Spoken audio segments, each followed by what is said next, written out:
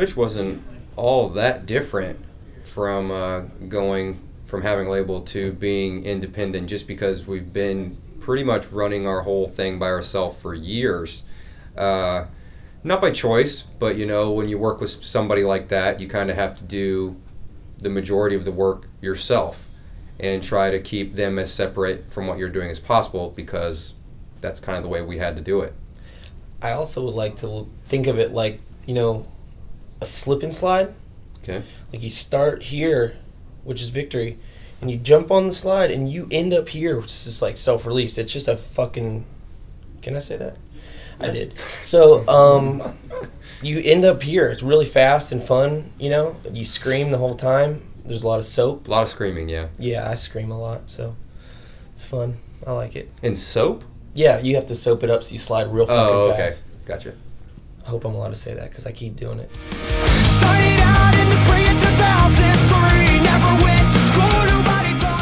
Part harmony on the word bitch.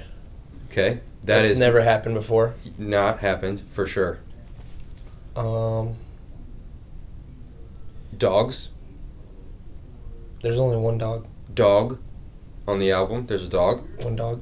Makes a guest appearance. It's a pug. It is a pug. It's my pug. He's beautiful. His barks are beautiful, and he makes that song beautiful. Beautiful songs, because before our songs were kind of scary and just not really that attractive. Okay. These songs are fucking beautiful. Sounds like angels are singing them. These sound like all positive things to me. It's up to you guys though. Yeah. Check it out. Come courtesy. Come crazy. Come crazy. I'm right back at it again. Just like I've always Absolutely not. This one has just been such a long process. I mean, we were in the studio tracking it for eight months and forever. uh, forever. Then we were out of it trying to get it mixed and mastered for another two months. Then we went in this whole big thing where we didn't know if we were going to be able to release it when we wanted to or not. And at the last minute, literally three days before uh, we had told the fan base we were going to put out the album, we got the go ahead that we could do that from our judge. He's an awesome guy. Thank you for that. Uh, we didn't pay him or anything. no, but uh, yeah.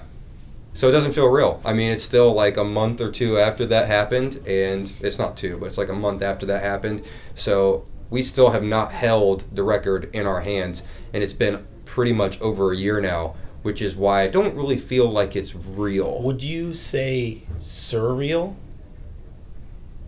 I have to hold it right to feel surreal, or do I just not know the meaning of that word? It's up to you. Decide for yourself. I'm sure you'll let me know in the comments. Let's roll with no getting back up plan. And everyone we knew that we couldn't stand. Holy shit. Hold on. The Halo EP was at Skylab, right? Yes. Uh, let me think. Skylab in Gainesville. Was it? I'm pretty sure. Oh yeah, it was, and we all played together. Yeah, we played together Holy shit, that thing sucked. legitimately live and we recorded all of the songs in one day. I didn't even know how to play my instrument then. I'm surprised I was allowed in the band. First take was gold. That was it Well, it never went anywhere near gold. It went like wood or dirt. for the dead. That's the name of it.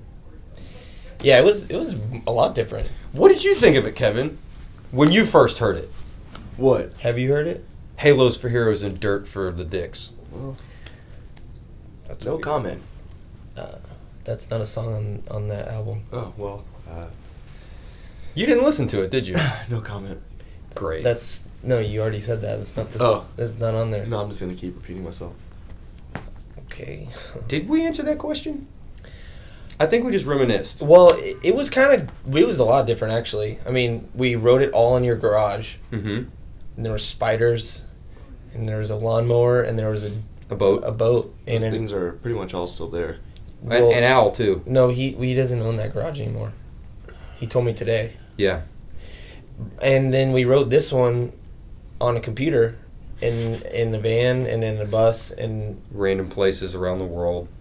it was really weird getting in the computer. It's hard to do that. Kind of So- like Tron.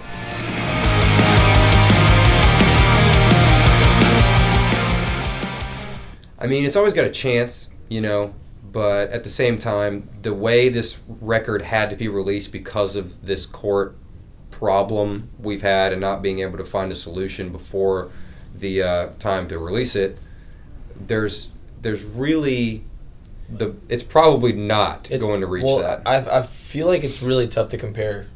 It to, is. just because of like we literally had four days to set it up.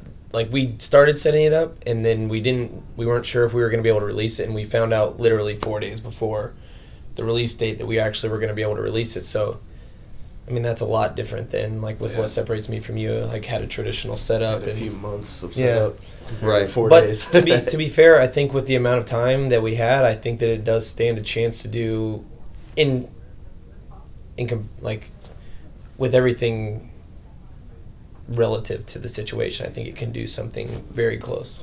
that we we were told that they might not even allow us to use the numbers from what we sold independently on our website for SoundScan. So Yeah, and that and that was a huge number for us. Just being able to sell it on ADTR.com, it was amazing how much our fan base actually supported it, and I think people will be pretty surprised when we announce whatever I was that number was. It, it was double what I expected and would have been happy with. So, I mean, it was pretty substantial. So that might not even scared. get counted. They're scared we're gonna chart number one on Billboard, so they're not gonna let us. Exactly. Watch out, Gaga. So wanna hear about it again Well, the goal for this album was just to get the the album to the fans. Yeah. Because uh, in our lawsuit, our label's whole game plan was to kind of stretch this out to kind of force us into a corner to where we had to make a crappy deal with them to put it out, and they were hoping that the judge would not side with us, which would have completely stopped our career until it was solved in court, which could have been up to 2015. Yeah. And who the hell is going to care about a record that was hyped three years ago in 2015? So at the end of the day, the only thing that mattered to actually keep this band relevant and keep us on track to doing what we wanted to do with our career was to put this album out for the fans, and that's what we did. Yeah. Moving forward, we just want to tour, play shows, become underwear models, and then um, date Kate Upton. That's my goal personally. I would share her with you guys. As a group, I would feel so much closer to you if you shared Kate Upton with me. that's of course Kate. If you're into this,